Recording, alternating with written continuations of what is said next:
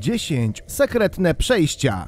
Człowiek od wieków fascynuje się tajemnicami i ukrytymi przejściami. Często są one związane z historią, intrygami lub po prostu stanowią niezwykłe miejsce do eksploracji. Na pewno niejednokrotnie widzieliście w filmach momenty, kiedy bohater podchodzi do regału z książkami, przesuwa odpowiednią książkę i nagle otwiera się ukryte wejście. Są na świecie specjalnie wykwalifikowane firmy, które specjalizują się w tworzeniu tego typu rozwiązań. Te firmy często pracują na zlecenie klientów, którzy chcą stworzyć unikalne i intrygujące elementy w swoich domach, biurach, muzeach czy innego rodzaju budynkach. Mogą to być zarówno prywatne rezydencje, jak i komercyjne obiekty, które chcą wprowadzić element niespodzianki, prywatności lub po prostu fascynacji do swojej przestrzeni. Tworzenie takich ukrytych przejść i tajemniczych pomieszczeń wymaga zaawansowanej inżynierii, wiedzy o mechanizmach i ukrytych systemach oraz precyzji wykonania. Firmy te współpracują z klientami, aby zrozumieć ich wizje i potrzeby, a następnie projektują i budują odpowiednie rozwiązania. Warto zauważyć, że takie ukryte przejścia i pomieszczenia mogą mieć różne zastosowania. Mogą służyć jako schowki, kryjówki, sejfy, miejsca do przechowywania cennych przedmiotów lub jako element dekoracyjny, który nadaje unikalny charakter przestrzeni. Oczywiście w filmach i literaturze takie ukryte przejścia są często przedstawione jako elementy fabularne, które prowadzą do sekretnych skarbów, dokumentów czy innych tajemniczych odkryć. W rzeczywistości tajemnicze rozwiązania architektoniczne mogą również inspirować wyobraźnię i dodawać nutę tajemniczości do naszego codziennego otoczenia. 9. Ukryte miejsca na Google Maps. Google Earth i Google Maps to narzędzia umożliwiające interaktywne badanie globu z perspektywy satelitów. Umożliwia badaczom dostęp do terenów trudno dostępnych normalnie, jak te na Poh Pei w Mikronezji. Przez ostatnie lata setki tajemniczych miejsc i anomalii zostały odkryte dzięki tej technologii. Za pomocą tego narzędzia naukowcy są teraz w stanie odsłonić tajemnice starożytnych struktur. Złożone modele 3D pozwalają na szczegółową analizę tych miejsc, a rezultaty są oszałamiające. Możliwość cyfrowego przeszukania terenu umożliwia naukowcom badanie szczegółów architektury, co daje cenne wskazówki do odkrywania historii tego miejsca. Oprócz tego niektóre z najbardziej fascynujących odkryć związanych z Google Maps obejmują starożytne linie Nazca w Peru, te gigantyczne rysunki niewidoczne z poziomu ziemi zostały stworzone przez starożytnych Nazca i można je dostrzec tylko z góry. Znalezienie ich dzięki Google Maps dostarczyło badaczom nowych informacji na temat tej starożytnej cywilizacji. Kolejne odkrycie to nieznana wcześniej struktura na Saharze, tak duża, że można ją zauważyć tylko z kosmosu. Ta struktura ukryta pod warstwą piasku pokazuje, jak wiele jeszcze tajemnic kryje nasza planeta. Te odkrycia to tylko wierzchołek góry lodowej. Google Maps, choć często używane do codziennych zastosowań, takich jak planowanie trasy, staje się coraz bardziej nieocenione dla odkrywców i badaczy. Wykorzystując tą technologię możemy odkrywać tajemnice naszego świata, które do tej pory były ukryte. Bez wątpienia wiele sekretów Ziemi nadal czeka na odkrycie. 8. Tunele łączące Koreę Północną i Południową. Granica między Koreą Północną a Południową jest granicą, na której napięcie jest bardzo odczuwalne. Wzdłuż tego strategicznego obszaru znajduje się wiele interesujących miejsc, ale jednym z najbardziej fascynujących jest sieć tuneli wykopanych przez Północną Koreę.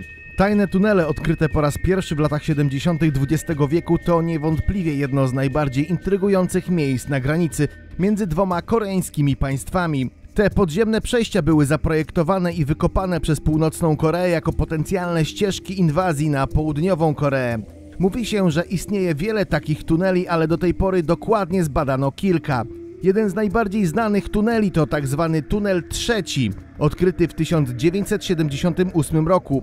Jest on najbliżej Seulu, stolicy południowej Korei. Tunel ma około 1,7 km długości jest wystarczająco duży, by przewieźć tysiące żołnierzy w ciągu godziny.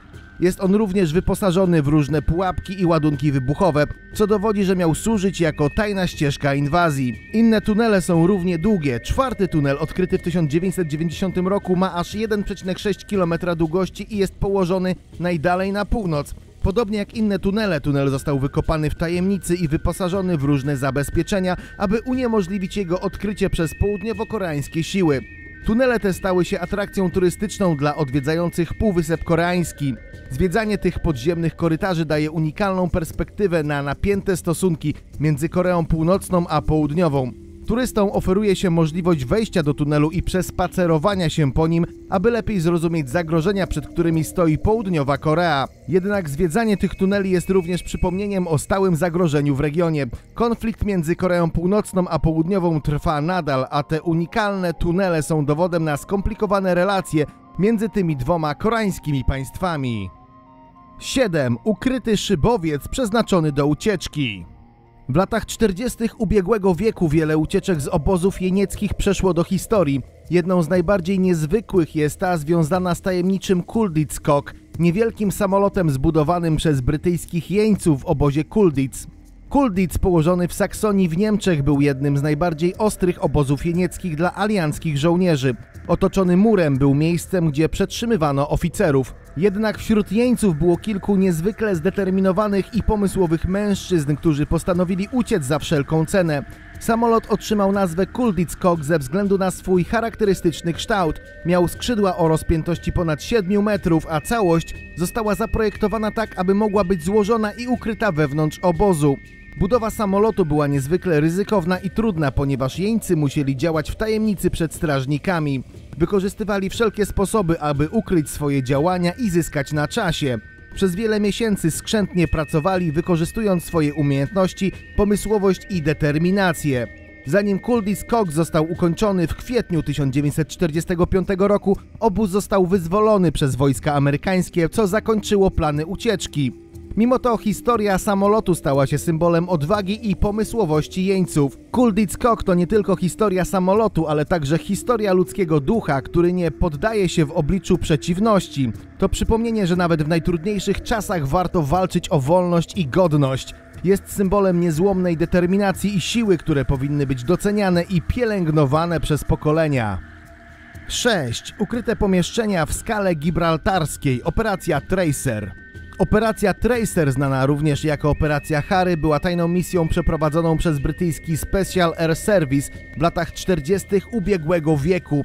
Jej celem było zniszczenie niemieckiego promu wojennego w porcie Bordeaux we Francji. Operacja była niezwykle ryzykowna, ponieważ żołnierze mieli zaatakować bardzo mocno broniony cel, a następnie uciec z powrotem do Wielkiej Brytanii. Mimo trudności i niebezpieczeństw zespół SAS był skuteczny w wykonaniu misji. Udało im się umieścić ładunek na promie, powodując znaczne uszkodzenia. Dziś operacja jest często wspominana jako przykład odwagi, determinacji i zdolności specjalnych sił w czasie konfliktu. Jej sukces stał się inspiracją dla kolejnych działań specjalnych jednostek na całym świecie. Podczas operacji Tracer żołnierze SAS dowodzeni przez porucznika Mike'a Lesa wykopali tunel, który miał prowadzić podziemnymi korytarzami do samego promu. Celem tunelowania było uniknięcie zauważenia przez niemieckie siły obronne i umożliwienie żołnierzom skrytego i bezpiecznego przemieszczania się. Tunel podczas operacji Tracer był kluczowym elementem sukcesu misji. Dzięki tunelowi żołnierze SAS mogli niezauważeni dostać się do promu i przeprowadzić sabotaż, umieszczając ładunek wybuchowy. Po wykonaniu zadania żołnierze wykorzystali ten sam tunel do bezpiecznego wycofania się. W razie niepowodzenia żołnierze mieli zamurować się w tunelu, aby uniemożliwić siłom przeciwnika odkrycie podkopu. 5. 103 piętro na Empire State Building dostępne tylko dla VIP-ów. Empire State Building w Nowym Jorku jest jednym z najbardziej ikonicznych wieżowców na świecie. Znajdują się tu pomieszczenia biurowe dla 15 tysięcy osób, a windy mogą przewozić 10 tysięcy ludzi na godzinę. Poza biurami znajdują się tutaj także inne obiekty, wśród nich banki, restauracje i sklepy. Większość z nich ulokowana jest na poziomie lobby. Najpopularniejszą atrakcją wieżowca są trzy punkty obserwacyjne, czyli observatories, położone na 80., 86. i na najwyższym 102 piętrze. Bilet wstępu do Empire State Building upoważnia do odwiedzenia wszystkich z nich. Wielu turystów odwiedza tę legendarną budowlę, aby podziwiać panoramiczne widoki miasta z jednego z tarasów widokowych. Jednak istnieje pewien tajemniczy balkon na 103 piętrze, który nie jest dostępny dla publiczności, a jedynie dla nielicznych wybranych. Na tym poziomie znajduje się niewielki taras dostępny jedynie dla VIP-ów, artystów, polityków i innych znanych osobistości. Z tarasu widokowego na Empire State Building można podziwiać zapierające dech w piersiach widoki na całe miasto Nowy Jork. Rozciągają się one na dystansie aż 80 km. W dobrej pogodzie można dostrzec nawet pięć sąsiednich stanów. Empire State Building wielokrotnie pojawił się w filmach i produkcjach telewizyjnych, co uczyniło go jeszcze bardziej rozpoznawalnym. Jednym z najsłynniejszych przykładów jest scena z filmu King Kong z 1933 roku, w której gigantyczny Kong wspina się właśnie na ten wieżowiec. 4. Korytarz Borgio. W stolicy Włoch, Rzymie, znajduje się wiele zabytków i historycznych miejsc, które przyciągają uwagę turystów z całego świata. Jednym z mniej znanych, ale niezwykle fascynujących miejsc jest Passetto di Borgio. Tak zwany korytarz Borgio został zbudowany w 1277 roku na polecenie papieża Mikołaja III. Jego głównym celem było zapewnienie bezpiecznej drogi ucieczki dla papieża w przypadku zagrożenia. Podczas okresów konfliktów i niepokojów politycznych w Rzymie papieżowie mogli uciekać z Watykanu i schronić się w bezpiecznym miejscu twierdzy Castel Sant'Angelo. Passetto di Borgio, znane również jako papieskie Passetto, to tajemniczy przepust biegnący przez Borgio, dzielnicę znajdującą się w pobliżu Watykanu. Passetto jest podwyższonym korytarzem o długości około 800 metrów, który łączy twierdzę Castel Sant'Angelo z Watykanem. Jest to wyjątkowy zabytek, który ma bogatą historię i pełnił różne funkcje przez wieki. Korytarz był również miejscem, które miało strategiczne znaczenie dla obrony Watykanu.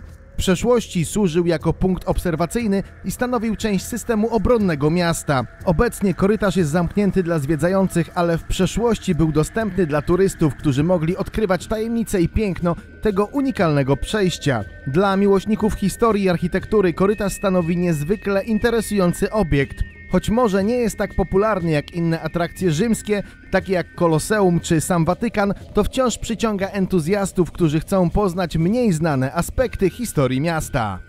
3. Do przemytu ludzi pod murem berlińskim między Berlinem Zachodnim a Berlinem Wschodnim wykorzystano ponad 70 ukrytych tuneli. Tunel ucieczkowy pod murem berlińskim, znany jako Tunel 57, był jednym z najbardziej udanych i odważnych planów ucieczki z Berlina Wschodniego do Berlina Zachodniego. Ta niezwykła historia stała się teraz dostępna dla publiczności dzięki otwarciu tunelu dla zwiedzających. Zwiedzający mogą teraz wejść do historycznego tunelu i przenieść się w czasie, odkrywając dramatyczne opowieści o ucieczce z Berlina Wschodniego w poszukiwaniu wolności. W nocy z 3 na 4 października 1964 roku pierwsza grupa uciekinierów zdołała przedostać się przez tunel, a następnie pokonać kolejne przeszkody, takie jak mur i zasieki. W sumie 57 osób zdołało uciec przez ten tunel, stąd pochodzi jego nazwa. Oprócz słynnego tunelu ucieczkowego 57 istniało wiele innych tuneli, które były wykorzystywane jako środki ucieczki podczas okresu podziału miasta przez mur berliński. Tunel 29 był to jeden z pierwszych tuneli wykopanych pod murem berlińskim. Prace nad nim rozpoczęły się w marcu 1962 roku. W czasie dwóch miesięcy zespół uciekinierów wykopał tunel o długości 145 metrów. Jednak wykop został odkryty przez Stasi, wschodnio-niemiecką służbę bezpieczeństwa, zanim uciekinierzy mieli szansę z niego skorzystać. Kilka osób zostało aresztowanych, ale większość zdołała uniknąć schwytania. Inny znany tunel ucieczkowy wykopany pod murem berlińskim to tunel 48. Prace nad nim rozpoczęto w sierpniu 62, a tunel był gotowy do użycia w październiku tego samego roku. Ucieczka z tego tunelu była jednak pełna niebezpieczeństw i komplikacji. W wyniku zdrady jednego z członków zespołu, wschodnio-niemiecka policja przeprowadziła nalot na tunel, a większość uciekinierów została schwytana. Kilka osób jednak zdołało uniknąć aresztowania. 2. 700-metrowy tunel pod granicą Słowacji i Ukrainy. Tunel, który miał około 700 metrów długości, został odkryty przez służby celne w 2012. Był on używany do nielegalnego przemytu papierosów. Konstrukcja tunelu była dobrze wykonana i wyposażona w odpowiednie środki techniczne, aby umożliwić przewóz towarów przez granicę w sposób niedostrzegalny. Tunel przemytniczy był wyposażony w system wentylacji, oświetlenia i inne udogodnienia, które miały ułatwić przewóz dużej ilości towarów. Był on też odpowiednio zabezpieczony, aby zapobiec ewentualnym zawaleniom. Odkrycie tego tunelu pokazuje rozmach i profesjonalizm nielegalnych działalności przemytniczych. Przemyt towarów takich jak papierosy jest powszechnym problemem na granicach międzynarodowych, a profesjonalnie wykonane tunele stanowią jedną z metod wykorzystywanych przez przestępców do unikania kontroli i przeprowadzania nielegalnych transakcji. Historia tego tunelu przemytniczego przypomina nam o nieustannym wyzwaniu walki z nielegalnym przemytem na granicach. Wymaga to ciągłego doskonalenia technik i zasobów, aby zapobiegać tego rodzaju przestępstwom i chronić legalny handel oraz bezpieczeństwo społeczeństwa. Wykorzystanie tuneli do przemytu jest niestety stosunkowo powszechne i stanowi duże wyzwanie dla służb celnych i agencji ścigania. W 2015 roku brytyjska policja odkryła tunel przemytniczy o długości ponad 1,5 km pod kanałem La Manche. Ten tunel służył do nielegalnego przemytu papierosów oraz innych nielegalnych towarów z Francji do Wielkiej Brytanii. Był on wyposażony w oświetlenie, system wentylacji, a nawet tory kolejowe. 1. Tajemnicze podziemia na Łysej Górze. Łysa Góra położona w Polsce jest miejscem pełnym tajemnic i fascynujących historii. Pod powierzchnią wzgórza znajdują się podziemia i krypty, które od wieków budzą ciekawość i zainteresowanie. Łysa Góra jest znana z licznego występowania jaskiń i podziemnych korytarzy, które zostały wydrążone w miękkim piaskowcu. Podziemia te są tajemnicze i otoczone legendami. Istnieją różne teorie na temat ich pochodzenia i pierwotnego zastosowania. Według jednej z teorii podziemia Łysej Góry były wykorzystywane jako schronienia w czasach konfliktów wojskowych lub jako miejsca kultu religijnego.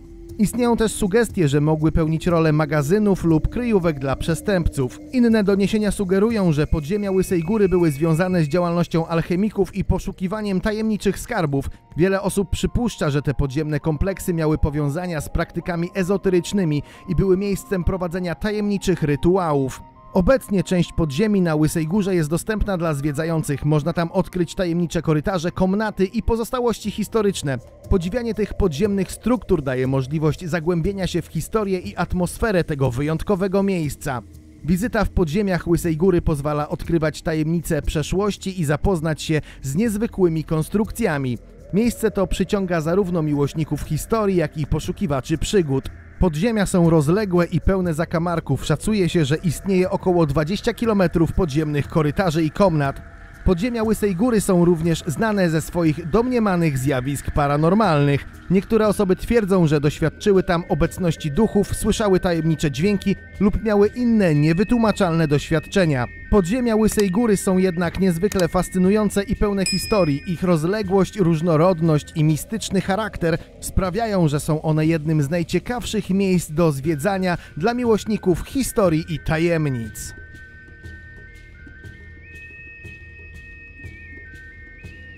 Dziękujemy za oglądanie. Nie zapomnij zostawić kciuka do góry i zasubskrybować naszego kanału. Jeżeli podobał Ci się odcinek, możesz odwiedzić nas też na Instagramie i na Facebooku, a w komentarzach możesz podzielić się sugestiami na kolejne odcinki.